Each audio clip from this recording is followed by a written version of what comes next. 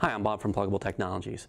In previous videos, I went over basic multi-monitor setup and troubleshooting for, for when things don't work as expected.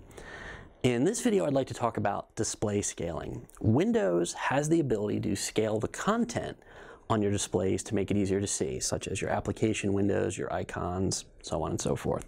So how does this all work? What I have here is a Dell laptop that has a 1366 by 768 resolution display connected to a ViewSonic monitor that has a 3840 by 2160 display, also known as 4K. So they have very different resolutions. But display scaling is different than resolution, and I'm going to show you. What I'm going to do right now is I'm going to bring up a window an application window for Notepad++. And on my internal display, it looks about the size I would expect and, might, and would be useful to use. But if I drag that window over to the 4K display, you can see it looks very tiny. And that's because of the difference in resolution. Because this has a greater resolution, that same window that appears bigger here appears smaller on my 4K display. Well, that's almost impossible for me to read and effectively use. So how can I change that but not lower the resolution of the display? Well, this is how you do this. Let me go ahead and I'm going to move this window back out of the way for just a moment and minimize it. I'm going to right click on an empty spot on my desktop and select display settings. If you've watched our previous videos, this is nothing new. And what Windows shows me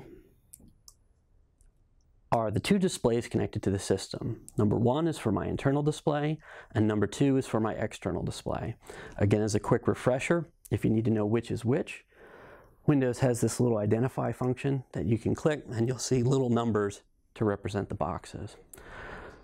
So what I can see is while my internal display is selected, there's this option right here that says change the size of text, apps, and other items and it's set to 100%, meaning there's no scaling happening. Things are one to one. If I click on monitor number two, I see the same thing, that there is no scaling happening.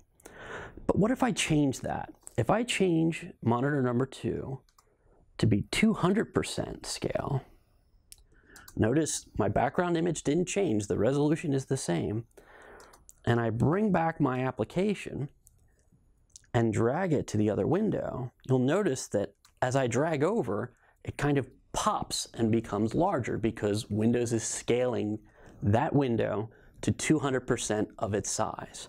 Let me show it to you one more time real slow. Drag it from the 4K display back to my internal display. You can see it actually looks pretty big. And then what will happen is Windows scaled it to fit the 100% setting on my internal display. Let me move it back one more time and you can see it. You'll see it moves over and then pops back up and becomes larger again.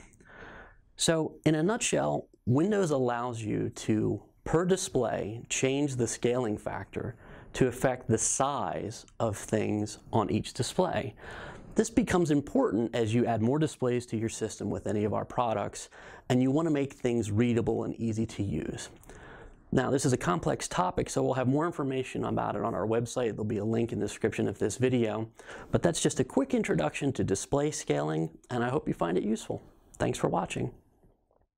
We make a lot of different products that allow you to add one or more monitors to your Windows system.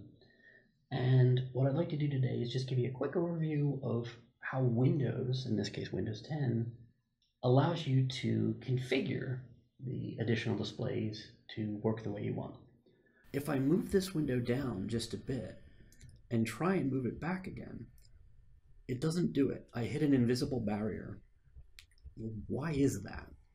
And how do I deal with it? How do I change it? How do I do things with it?